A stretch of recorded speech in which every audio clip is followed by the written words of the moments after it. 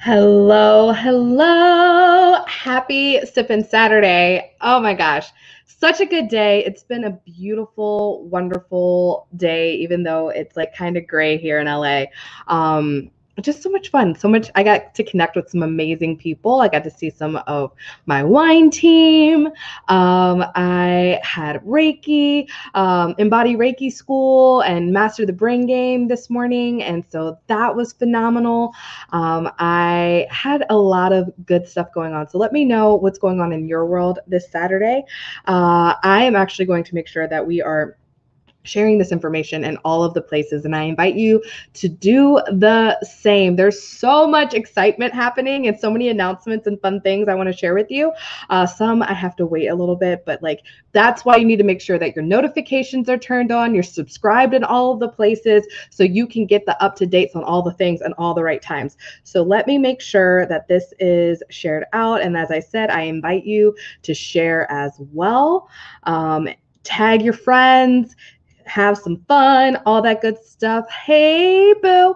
Um, make sure that if you are watching this like as a live stream, um, that you've given StreamYard permission so I can see who you are and what your name is, because otherwise I see Facebook user. And although I appreciate all of that, I still want to see your name so I can give you a shout out. So let's get down to business.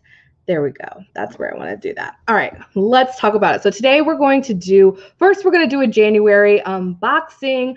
Uh, if you are not familiar or um, don't know who I am, I'm Tiara, AKA T, the Wine Diva. And what I love to do is I love to bring so much more fun and joy and lightness into your life. And one of those avenues is by sharing wine and food and just deliciousness with you. And um, I have actually been under the weather the last couple of weeks. And so I have kind of been like taking a step back, taking care of me, self reflecting all sorts of stuff. And in this reflection time, which has been just like a spiritual awakening and just amazing shifts and like resets of the mind, um, I have come up with some really fun things for you, and um, you have to be on the lookout for that. So, like I said earlier, turn on those notifications. Make sure you're in all the groups. You're subscribed to the YouTube, the podcast, the, all of this stuff, all of that jazz. Um, so you make sure that you can get all of the good things, right?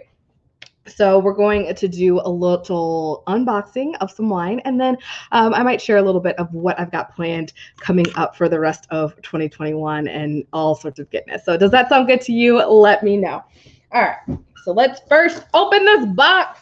So this is my monthly wine club. Now it typically arrives like earlier in the month, and like I said, I've been under the weather, so I just really have not been feeling one, I haven't really felt like drinking any alcohol. I don't think I yesterday was the first time I had a glass of anything um, since before since like the new New Year's Day actually. Um, so I've been sick for a while. so um, I'm excited to like crack this open. I kind of have already forgotten what's in the box, but that's okay. So many good things. Hey, hey, hey. Oh yeah. So this monthly wine club box, let me know if you can hear me as I'm like turning my face away from the microphone. Um, this is something that shows up every single month. And I get the four bottle half and half, which means that I get the opportunity to try all the things that we've released for the month. So every month we release four new wines. And um, yeah, so this is this month's wines all right, let's put all the things away. So it comes with like all these fun little flyers so you can have a reminder of like what the benefits of being a wine club member are. Uh, if you are interested in looking into becoming a wine club member, there should be a link in the description of this video to my link tree, which will give you access to like my website so you can find the wine club. Also, access to like subscribing to the YouTube channel and subscribing to the podcast and all that jazz. So you have access to all the things. Um, but yes, so this little sheet will give you, Stacy says, love my wine box. Yes, girl. Um, a little list of like all of the fun things that come with being a wine club member from uh, discounts and savings on wine which honestly if you've ever been a member of any wine club you realize that aside from like going to the winery itself and doing a tasting it is the most economical way to explore different wines. And with us right now being under quarantine and like these certain experiences aren't regularly happening happening as much as they used to you know the best way to get things and the most the safest way to get things is having them shipped to you right and so this wine club four new wines shipped to your home every week, which is awesome. Every week, whew, that's a little much. Every month, I take that back. Um, and you get to just explore. And what I love about the exploring, I feel like life is all about exploring. It's all about experiences. Yes, we have to experience different things. So we know, yes, I want to do that. I need to experience travel to know that I like travel. I need to experience kayaking to know whether or not I like kayaking. So this opportunity to experience things that interest us. So if you're interested in wine and you're like, I don't know what I like, or maybe I know what I like, but I'm open to trying new things, this is the way to do it. Okay. Hello, beautiful Melissa. How are you? All right. So, we've got they come with all these cards so it takes the the guesswork out of what do you what do i pair with it? Because that's like the number one question i get is like okay i have this bottle of wine and i want to have it with food and i but i don't know what i want to pair it with and why is that so important? And really honestly like at the end of the day if you like wine if you like food and you want to put them together like go for it, knock yourself out. But I will say that it does elevate the experience when you have a perfect pair. It's like, you know, like you can have a good time with like your your so so friend or or you know the coworker or whatever like if you're going out to a club or something imagine this is like 2019 and we're allowed to do that. So like you're going to the club you could either choose to go with a coworker you don't really know very well and you can have an all right time and it's cool but you would have way more fun if you went with like your best friend because you know what music you like. You might even have like dances to certain songs. If you're like me we probably have choreographed dances to things. And so like you can totally um it just is an elevated experience. Does that make sense? So that's the same thing about food pairing. Like you can have a good time without it being like the perfect pairing but if you want to like have it a little bit better if you want to just take it to the next level that's where all of that good stuff comes in.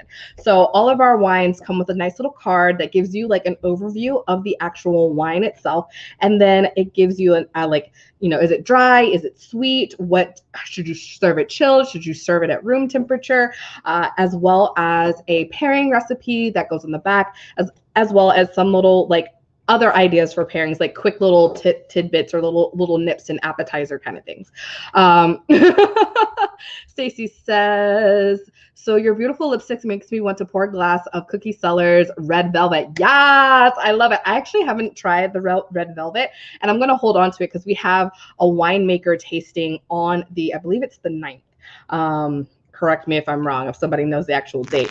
But um, there's going to be a post in the virtual wine tasting room later today that'll have the dates because we have a winemaker tasting and a cocktails class for the month of February. Uh, so make sure that you're in the virtual wine tasting room or you're following me on stories to see like information on how to join all of that goodness. Uh, but the Cookie Cellars Red Velvet is definitely going to be a featured wine for the month of February. And in the past, the Cookie Cellars brand as a whole sells out like super quick and it's like super delicious and so fun. So I'm just holding on to mine so I can uh, have it for for a little tasting situation. Um, if you had a box wine, that would be amazing. Now, without going into like my my wine snobbery self, I do like I used to drink box wine like nobody's business, honey. Um, but I have found that since I've changed what I do, it's like the same thing of like if, if you've ever cut sugar out of your diet and then you go back to like having sugar and like it can seem like extra sweet than what you remembered it's the same idea. So like when you change the quality of the things that you that you consume uh, once you elevate that quality then sometimes you can't really go back without like feeling it in your body and that's how it goes for me. Muscadine wine is our favorite ooh muscadine is delicious. Uh yes yes. All right let's let's see what's in this box shall we so we're going to start off with the white wines and what white wines we have tell your husband this. What do I got to tell your husband, Melissa? What do I got to tell him? tell him tell him that box wine is not necessarily the best for your body. Now I can't I don't want to speak in like like a full generality, but typically in my experience, the wines that come in a box wine, they are mass produced. So anything that that we know of, when we think of the things that we put in our body, um, that are mass produced typically they're not like the best things right? You know when we talk about like are we eating organic versus are we eating just like what i call like junk food vegetables or junk food junk food processed stuff. Has it been processed or is it as like clean and close to god as it possibly can be? And the same goes for wine. Not all wine is alike. Not only in the sense that like there are different varietals and different like actual types of grapes and different flavor profiles but quality wise it's not all the same. There you go All right, so we first are going to pull out, we've got the 2018 California Viognier, the Homage Cellars brand. Um, this is actually a, a rebrand. So some of you that have been with me for a while may remember Homage Cellars. I don't think we've had a bottle in like two or three years, but it used to be like a more colorful. I think it's like a similar picture, but it was in color. I might have a bottle back there, but I did. I should have pulled one out to see if I did. But it is okay. Um, and so we have Viognier, which I'm from Virginia, and Viognier is actually a really, really, really popular grape in Virginia. My perspective of it is it's like if you like Chardonnay, because it's got like it's got a little bit of that that unctuousness that Chardonnay has. It has a little bit more weight. It's a more weighty white wine, but it's not as like bold as like an oaky Chardonnay. It still it has some like tropical notes to it and all that good stuff. But let me look at this card and see what kind of notes present for this. So we've got a 2018 100% Viognier from California. We know how to party. Uh, and it is like on the off dry right in the middle, right in the middle of the sweetness. So you're going to have some dry characteristics as well as some sweeter characteristics. It is going to give you some like aromas of honeysuckle, citrus, stone fruit like apricot, um, ooh, plantain and peach. So it's going to have some just like bright, um, wonderful flavors, which is I'm super excited to give this a try. Uh, there is a small amount of sweetness in this wine, but it's not the main feature, which I like. I like things. I like. I like it to be well balanced. That's what I think is a, like the sign of a really, really good wine. If you have a sweet wine, it should be intentionally sweet by the winemaker.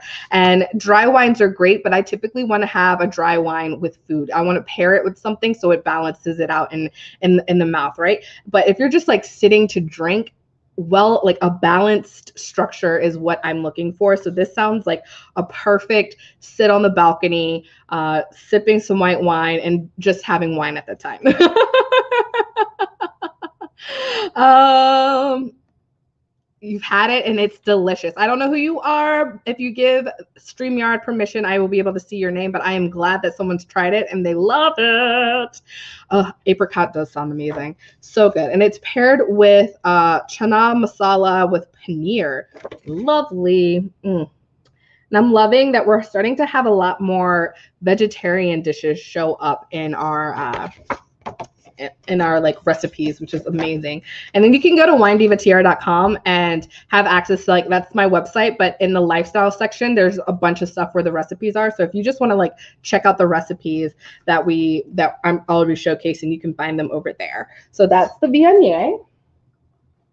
What else do we have? We're gonna have a 2019 Pinot Grigio, and I love Pinot Grigio. Like again, it is like it is just light and refreshing for me. So I think of it like it's not as Sauvignon Blanc, I say is like the lemonade of of wine because it has really bright citrus notes and it's pretty powerful and and it does have a little a lot of acidity and like acid kind of feel in the mouth so that's where i like like it's like a an unsweetened lemonade is how I think of Sauvignon Blanc, where I think Pinot Grigio is a softer version of that. So Pinot Grigio is a lot lighter, and I love Pinot Grigio when it's warm outside and you're just like sitting by the pool, um, or you're just like you know sitting by like just outdoors in general, just under the sun, and you want something crisp and refreshing to sip on. So that's what I like to. Melissa says recipes. You know I love to cook. Yes, I know you love to cook, girlfriend. All right, so this is going to be a dry Pinot Grigio, 13.5% alcohol. Okay.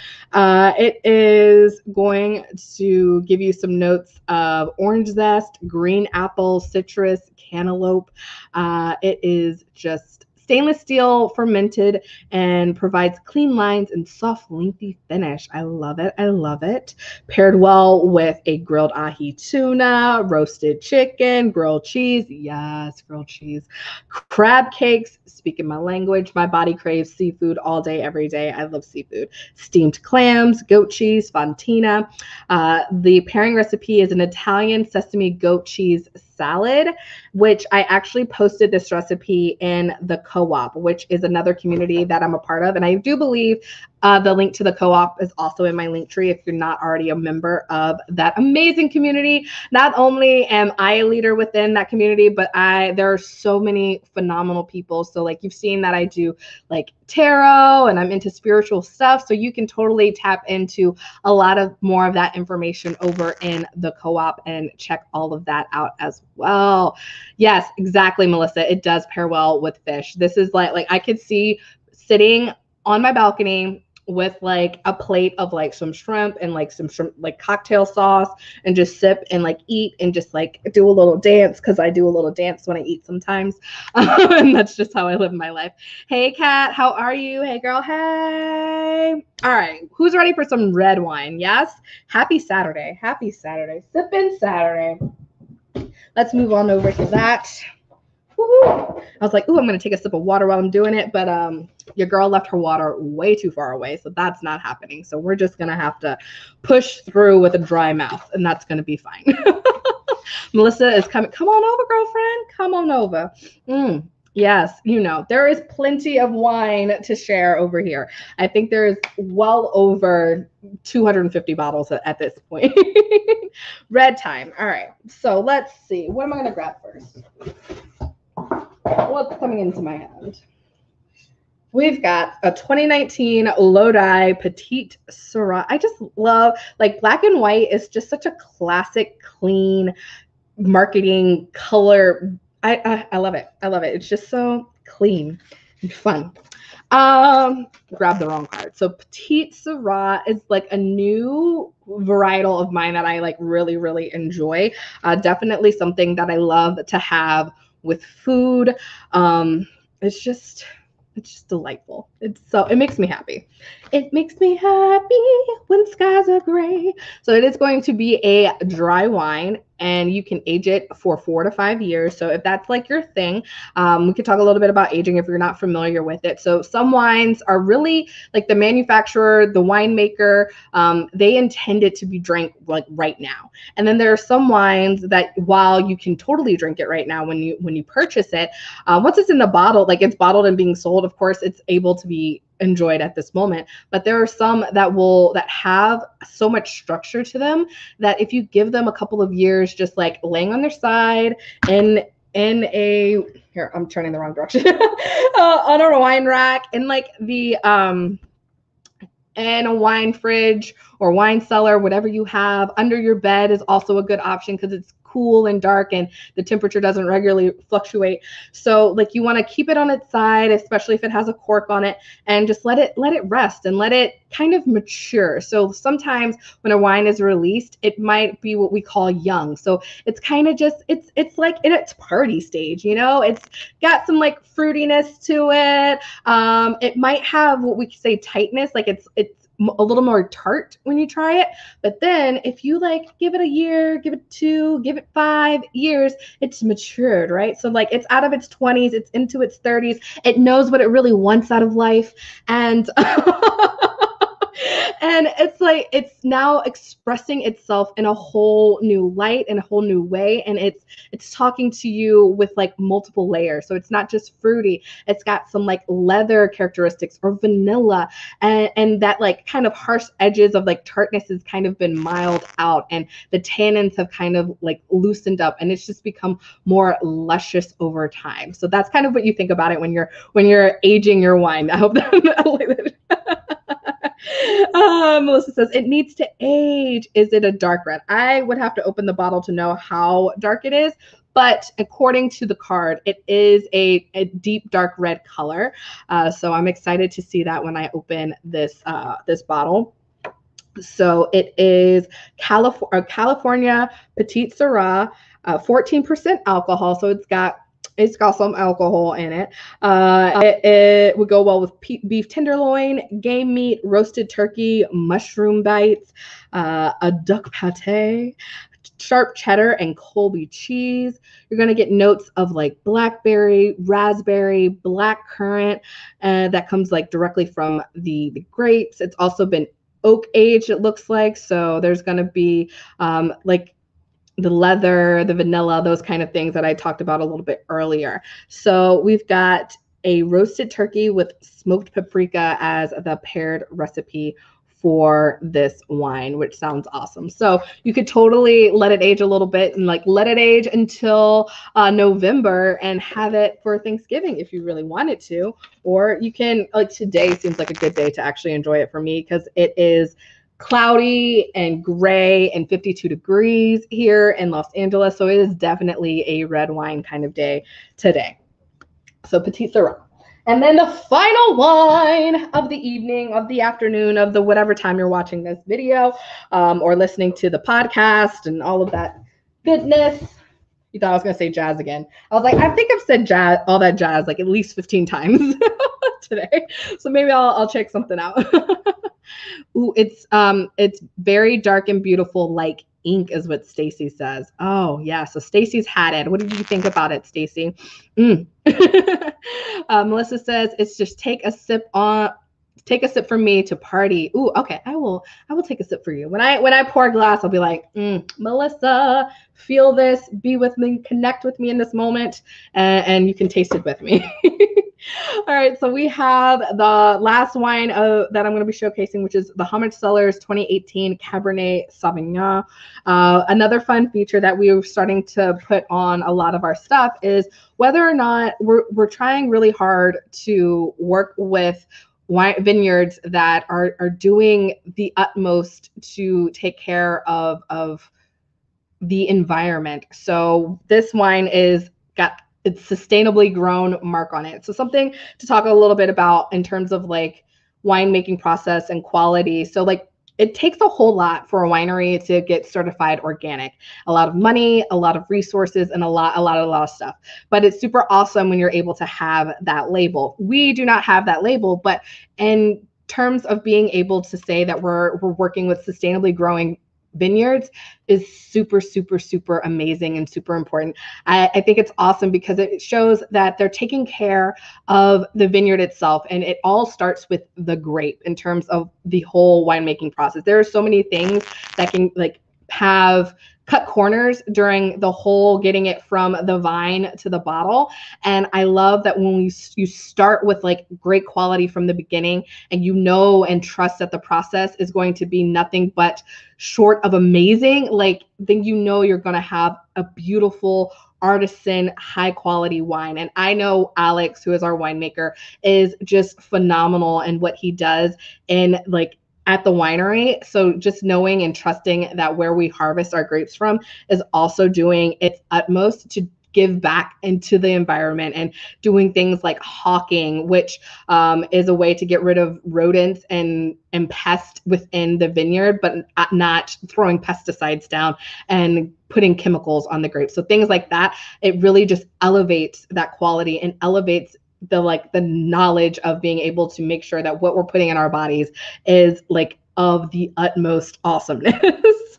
uh, Stacy says that the uh, Petite Sirah is wonderful. It's rustic, which she likes, and edgy, so others may prefer decanted. Ooh, ooh, that's a good note. So on going back to like the aging process as well another way to kind of have a similar effect and get, make it mature kind of in like in in a more timely fashion is by decanting it or using an aerator. So it helps to add some oxygen to that wine so it can open up and it can mature in your glass for you yes, I am a jazzy girl, Melissa. I love it.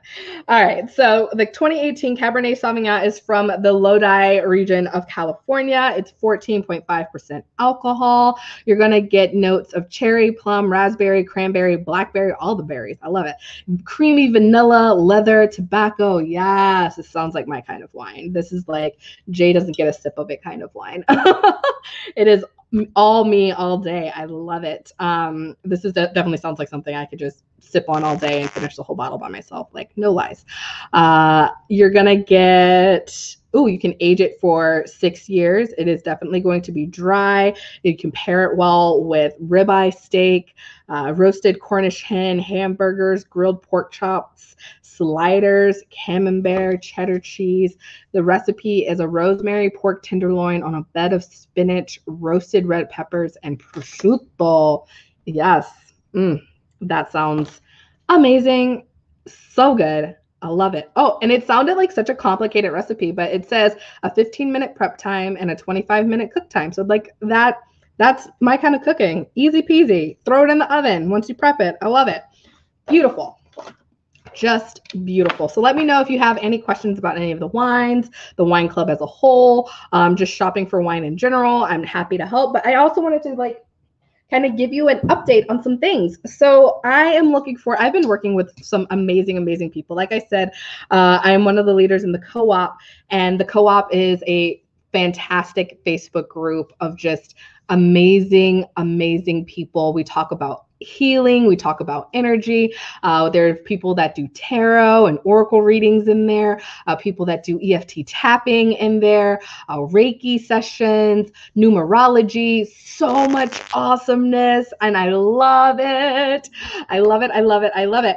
And um, so over there is where I'm going to be focusing a lot of my free content in terms of Facebook outside of like, you know, doing my podcast and doing uh, the YouTube channel. So if you're not following Wine About It with Wine Diva Tiara, I recommend you doing that. That's both the name of my podcast and my YouTube channel. So if you want the free content, that's where it's going to be.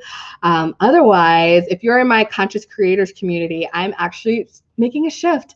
Um, I'm working with the amazing Kyla Clapper. If you know Kyla, um, drop her name, say say hey. Um, she's fantastic and she's been an amazing help as well as like angela kay and uh, jen kohler so many phenomenal people that have given me so much advice and some guidance over the last couple of months and so i have come to this the space of wanting to not coach because you know so the, the, some of you know that i'm a certified life and business coach and i although i enjoy it i love giving people advice. I love telling people what to do. No not really. Giving giving advice i realize that that's not like my zone of genius or at least it's only like scraping the the just like the surface of it. And what i really want is to help people live their best lives. Ha- and by having more fun, having more joy in life. So I really am looking towards creating a subscription community in which um, we talk about that. We talk about how do we get fun in our daily life? How do we basically self care and take care of ourselves? How do we fill our own cup? full of joy so we can have so much more fun so we can give and do all the other things in life and live life to its fullest because I am a firm believer that we shouldn't be like, you know, we shouldn't be just living this mundane day to day, just, you know, living for the weekend or living for our vacation time. We should be enjoying every single day of our life. And how can we do that? So be on the lookout. Um, I will be shifting my Conscious Creator Facebook group into that paid community. So if by, um, let's say, what time, what day is it?